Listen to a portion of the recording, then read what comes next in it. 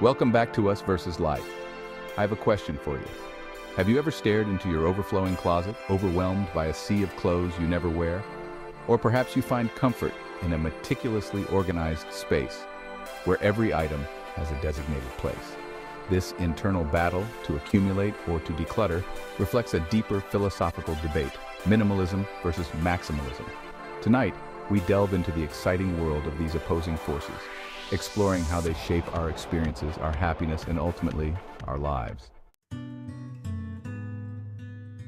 Minimalism is a philosophy that champions living with less. Minimalists prioritize experiences over possessions, aiming to declutter their physical and mental landscapes. Proponents like Fumio Sasaki, author of the best-selling book Goodbye Things, argue that letting go of material clutter liberates the mind. Studies by the University of California, Irvine even suggest that physical clutter can lead to increased stress and decreased focus. Take Sarah, for example. A graphic designer with a passion for travel, Sarah embraced minimalism to free up time and finances for adventure. Getting rid of things I didn't use or love allowed me to save for that dream trip to Iceland, she shares. Now I come back from my travels with memories, not souvenirs. Minimalism fosters a sense of freedom and flexibility, allowing individuals to pursue experiences that enrich their lives. But minimalism isn't for everyone. Maximalists, on the other hand, find joy in surrounding themselves with meaningful objects. Their spaces are a visual tapestry of their passions and experiences. Psychologist Dr. Tracy Duren Magana argues that maximalist environments can spark creativity and self-expression, for some, she explains, a curated collection of objects acts as a constant source of inspiration and brings them joy. Take David, a musician whose apartment overflows with instruments, vintage records, and concert posters.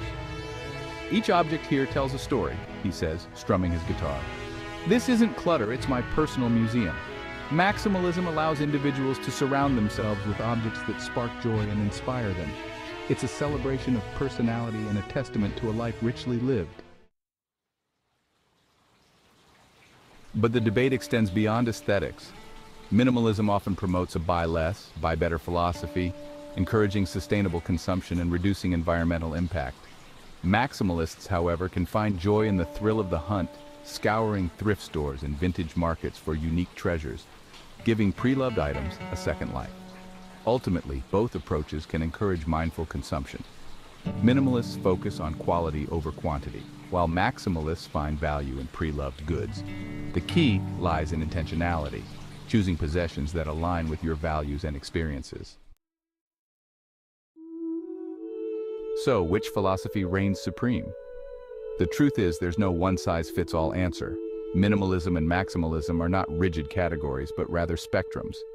You might be a minimalist when it comes to clothing, but a maximalist when it comes to books. The key is to find the balance that sparks joy, reduces stress, and allows you to live a life rich with experiences that matter to you. Here's the key idea. Minimalism and maximalism are spectrums, not absolutes. You can be minimalist in some areas of your life, like clothing, and maximalist in others, like hobbies. The true value lies in intentionality. Choose possessions and experiences that align with your values and bring you joy not just accumulate or declutter for the sake of it. Both approaches can be sustainable. Minimalism encourages responsible consumption, while maximalism promotes giving pre-loved items a second life. We want to hear from you. Are you a minimalist who craves new experiences, or a maximalist who finds comfort in a curated collection?